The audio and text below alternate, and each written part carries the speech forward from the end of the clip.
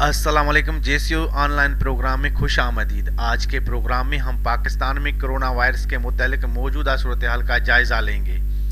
چین نے بر وقت اقتدامات نہیں کیے اور ان کے ساتھ کیا ہوا آپ لوگوں نے دیکھا، جس کے بعد اٹلی، ایران، امریکہ اور برطانیہ کی صورتحال بھی آپ کے سامنے ہے، لیکن پاکستانی قوم ابھی بھی اس کو سیریس نہیں لے رہی۔ سب سے پہلے آپ سنیے کہ پاکستان کے نامور ڈاکٹر سیمی جمالی اس صورتحال کے متعلق کیا کہہ رہی ہیں۔ پاکستان اس وقت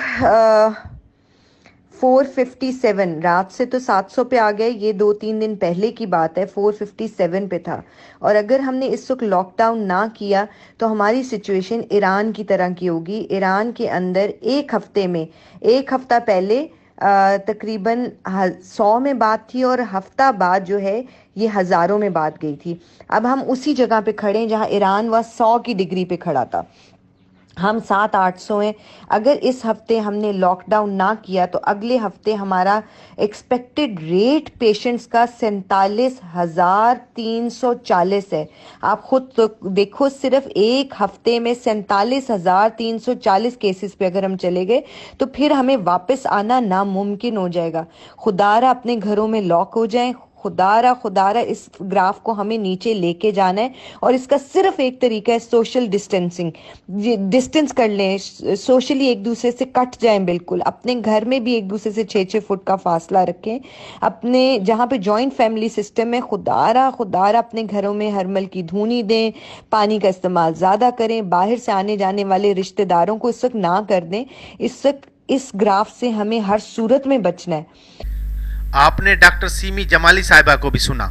اس کے بعد آپ پروفیسر ڈاکٹر جاوید اقبال کو بھی سنیے کہ وہ موجودہ صورتحال کے متعلق کیا کہتے ہیں۔ کہ آپ مہربانی کر کے اس بات کو بہت سیریس لیجیے، غیر ضروری طور پہ بازار مت جائیے اور گھر کے اندر محدود ہو جائیے۔ دیکھیں، اگر آپ پندرہ دن کے لیے گھر کے، گھر میں محدود ہو جائیں گے تو اس وائرس کو پھیلنے کا موقع نہیں ملے گا اور یہ وائرس اپنی موت خود مر جائے گا۔